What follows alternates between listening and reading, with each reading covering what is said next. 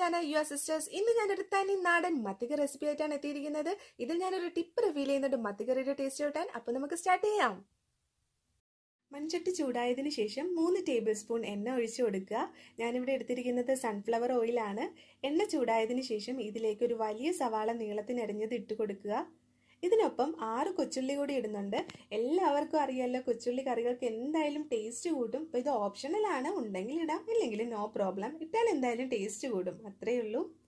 ഇനി ഇതിലേക്ക് ആവശ്യമായിട്ടുള്ള ഉപ്പിട്ട് കൊടുക്കുക. ഞാനിവിടെ ഒരു ടീസ്പൂൺ ഉപ്പിട്ട് കൊടുക്കുന്നുണ്ട്. ഉപ്പിട്ട് കൊടുത്ത ശേഷം നന്നായി വഴറ്റുക. ഇനി ഇതിലേക്ക് മീഡിയം സൈസിലുള്ള ഇഞ്ചിയും മൂന്നല്ലി വെളുത്തുള്ളിയും ഒരു വലിയ പച്ചമുളക് ചതച്ചതും ഇട്ട് കൊടുത്ത് ഇതിന്റെ പച്ചമണം മാറുന്നത് വരെ നമുക്ക് നന്നായി വഴറ്റി കൊടുക്കണം. ഇനി ഇതിലേക്ക് ആവശ്യത്തിന് കറിവേപ്പില കൂടി ഇട്ട് കൊടുത്ത് നന്നായി വഴറ്റുക. ഇത് ഒരുപാട് ബ്രൗൺ ഷെയ്ഡ് ആവുന്നവരെ വെയിറ്റ് ചെയ്യേണ്ട ആവശ്യമില്ല. അതിനു മുന്നേ നമുക്ക് പൊടികളെല്ലാം ഇട്ട് കൊടുക്കേണ്ടതുണ്ട്. അപ്പോൾ ഇതിന്റെ പച്ചമണം മാറുന്നത് വരെ മീഡിയം ഫ്ലെയിമിലിട്ട് വഴറ്റുക. ഒന്ന് കളർ ചേഞ്ച് ആയി വരുമ്പോൾ ലോ ഫ്ലെയിം ആക്കി നമുക്കിനി പൊടികളെല്ലാം ഇട്ട് കൊടുക്കണം. ഇതിലേക്ക് കാൽ ടേബിൾ സ്പൂൺ മഞ്ഞൾപ്പൊടി ഇട്ട് കൊടുക്കുക. അതിനുശേഷം ഒരു ടേബിൾ സ്പൂൺ മുളക് പൊടി ഇട്ട് കൊടുക്കുക. ഇത് അവരവരുടെ എരിവിനനുസരിച്ച് ഇട്ട് കൊടുക്കണം മാറ്റം വരുത്തണം. രണ്ട് ടേബിൾ സ്പൂൺ മല്ലിപ്പൊടി ഇട്ട് കൊടുക്കുക. അതിനുശേഷം ഒരു ടീസ്പൂൺ ഉലുവാപ്പൊടിയും അര ടേബിൾ സ്പൂൺ കുരുമുളക് പൊടിയും ഇട്ട് കൊടുക്കുക. ഈ പൊടികളെല്ലാം ഇട്ട് നന്നായിട്ട് മിക്സ് ചെയ്ത് കൊടുക്കുക. ഇനി ഇതിലേക്ക് ആവശ്യമായിട്ടുള്ള പുളിവെള്ളം കൂടി ഒഴിച്ചു കൊടുക്കണം. ഞാനിവിടെ അര ഗ്ലാസ് അടുപ്പിച്ച് ഒഴിച്ചു കൊടുക്കുന്നുണ്ട്. പുളിയുടെ അളവ് നിങ്ങളുടെ ചോയ്സിനനുസരിച്ച് മാറ്റം മറക്കരുത്.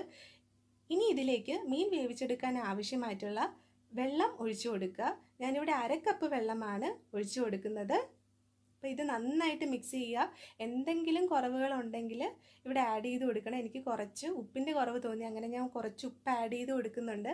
അതിനുശേഷം മിക്സ് ചെയ്തിട്ട് അടച്ചു വെച്ച് ഒരു മിനിറ്റ് കഴിഞ്ഞ ശേഷം തുറന്ന് നോക്കുക.